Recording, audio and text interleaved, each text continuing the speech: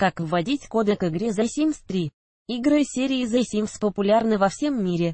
Очень многим нравится строить дома, обставлять их мебелью, следить за радостями и бедами компьютерных человечков.